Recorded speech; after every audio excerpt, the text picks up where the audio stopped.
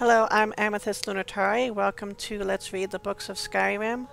Today I'll be reading 2920 Evening Star, Volume 12, which I found here in Angeline's Aromatics in Solitude.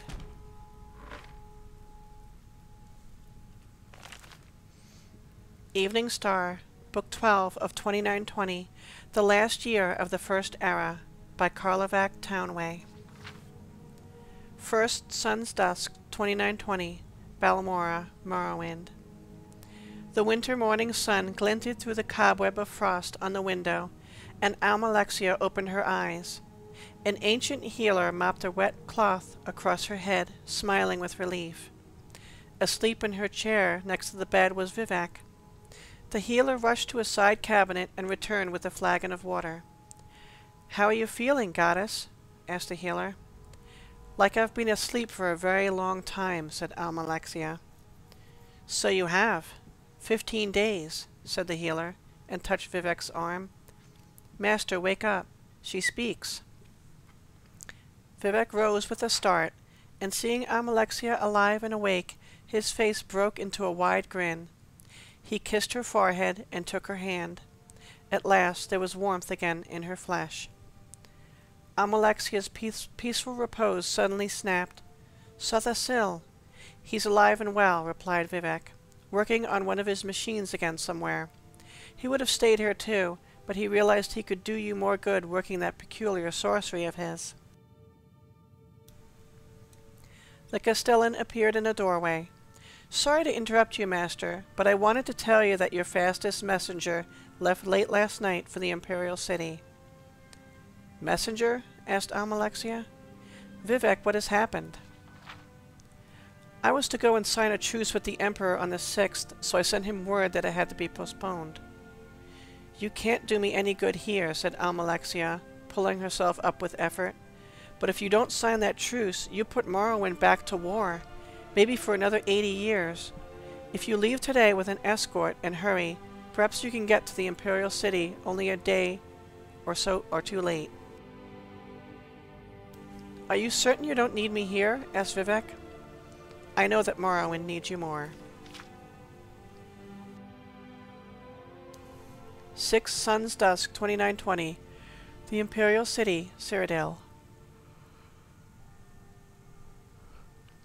The Emperor Reman III sat on his throne, surveying the audience chamber.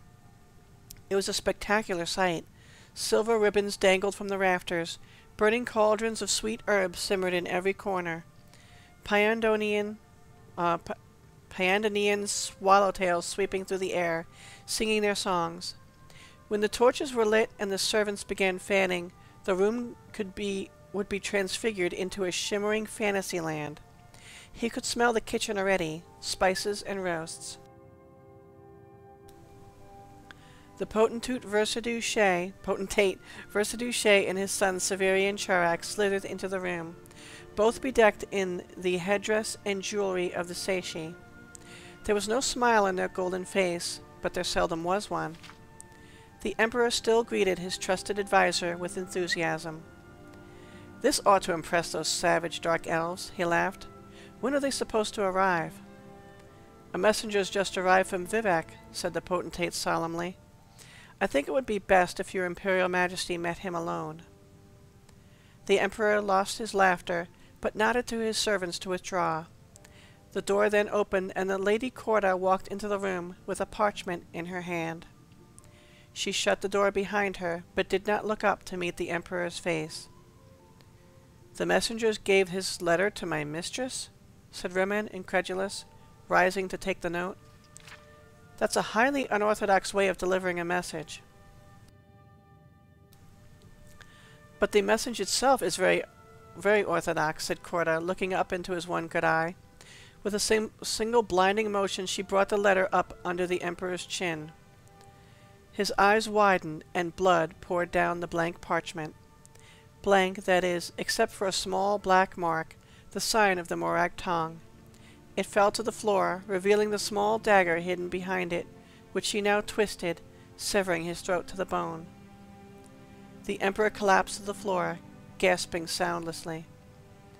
How long do you need? asked Severian Chorak. Five minutes, said Corda, wiping the blood from her hands. If you can give me ten, though, I'll be doubly grateful. Very well, said the potentate to Corda's back as she raced from the audience chamber. She ought to have been at Akaviri. The way the girl handles a blade is truly remarkable. I must go and establish our alibi, said Severian Chorak, disappearing behind one of the secret passages that only the Emperor's most trusted knew about. Do you remember, close to a year ago, your Imperial Majesty? The potentate smiled, looking down at the dying man. When you told me to remember, you Akaviri have a lot of showy moves, but if just one of our strikes comes through, it's all over for you. I remembered that, you see. The Emperor spat up blood and somehow said the word, Snake. I am a snake, your Imperial Majesty, inside and out. But I didn't lie. There was a messenger from Vivec. It seems he'll be a little late in arriving. The potentate shrugged before disappearing behind the secret passage. Don't worry yourself. I'm sure the food won't go bad. The Emperor of Tamriel died in a pool of his own blood in his empty audience chamber decorated for a grand ball. He was found by his bodyguard fifteen minutes later. Corda was nowhere to be found. Eighth Sun's Dusk, 2920, Caer Suvio, Cyrodiil.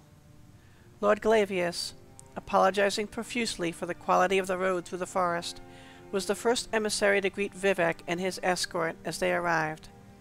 A string of burning globes decorated the leafless trees surrounding the villa, bobbing in the gentle but frigid night breeze. From within, Vivec could smell the simple feast and high, sad melody. It was a traditional Akaviri wintertide carol. Versidue Shaie greeted Vivec at the front door. I'm glad you received the message before you got all the way to the city, said the potentate, guiding his guest into the large, warm drawing room. We are in a difficult transition time, and for the moment it is best not to conduct our business at the capital. There is no heir? asked Vivec. No official one, though there are distant cousins vying for the throne. While we sort the matter out, at least temporarily, the nobles have decided that I may act in the office of my late master. Versidue signaled for the servants to draw two comfortable chairs in front of the fireplace.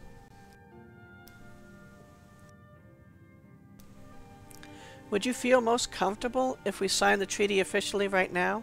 Would you like to eat something first? You intend to honor the Emperor's treaty? I intend, to do everything as the Emperor, said the potentate. Fourteenth Sun's Dusk, 2920, Tel Aruhn, Morrowind. Corda, dusty from the road, flew into the Night Mother's arms. For a moment they stayed locked together, the Night Mother stroking her daughter's hair, kissing her forehead. Finally, she reached into her sleeve and handed Corda a letter. What is it? asked Corda. A letter from the potentate, expressing his delight at your expertise, replied the Night Mother. He's promised to send us payment, but I've already sent him back a reply. The late Empress paid us enough for her husband's death. Mephala would not have us be greedy beyond our needs. You should not be paid twice for the same murder, so it is written. He killed Rijja, my sister, said Corda quietly. And so it should be that you struck the blow. Where will I go now? Whenever any of our holy workers becomes too famous to consider the crusade, we send them to an island called Vounoura. It's not more than a month's voyage by boat, and I've arranged for a delightful estate for your sanctuary. The Night Mother kissed the girl's tears. You meet many friends there, and I know you will find peace and happiness at last, my child. 19th Sun's Dusk, 2920, Mournhold, Morrowind. Almalexia surveyed the rebuilding of the town. The spirit of the citizens was truly inspirational, she thought, as she walked among the skeletons of new buildings standing in the blackened, shattered remains of the old. Even the plant life showed a remarkable resilience. There was life yet in the blasted remains of the comberry and rhubarb shrubs that once lined the main avenue. She could feel the pulse. Come springtide, green would bolt through the black. The Duke's heir, a lad of considerable intelligence and sturdy Dunmer courage, was coming down from the north to take his father's place. The land would do more than survive. It would strengthen and expand. She felt the future much more strongly than she saw the present. Of all the things she was most certain of, she knew that Mournhold was forever home to at least one goddess. 22nd Sun's Dusk, 2920. The Imperial City, Cyrodiil. The Cyrodiil line is dead, announced the potentate to the crowd gathered beneath the speaker's balcony of the Imperial Palace. But the Empire lives. The distant relatives of our beloved Emperor have been judged unworthy of the throne by the trusted nobility who advised His Imperial Majesty throughout his long and illustrious reign. It has been decided that, as an impartial and faithful friend of Reman III, I will have the responsibility of continuing on in his name. The Akaviri paused, allowing his words to echo and translate into the ears of the populace. They merely stared up at him in silence. The rain had washed through the streets of the city, but the sun, for a brief time, appeared to be offering a respite from the winter storms. I want to make it clear that I am not taking the title of Emperor, he continued. I have been and will continue to be Potentate Versidue Shaie, an alien welcomed kindly to your shores.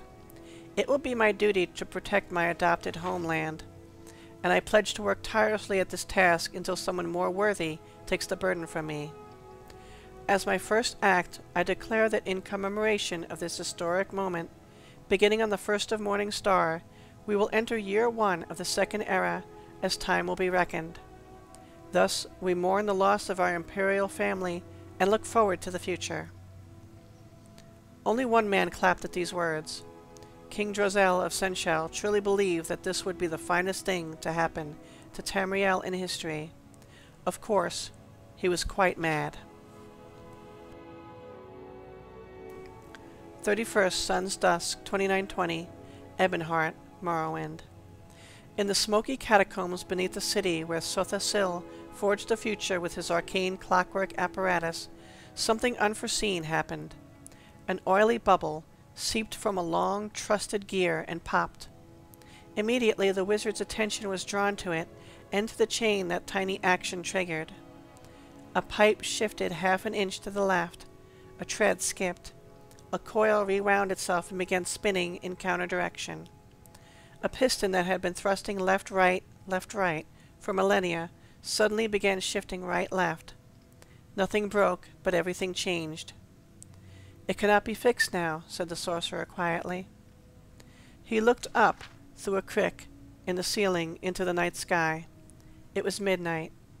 The second era, the age of chaos, had begun.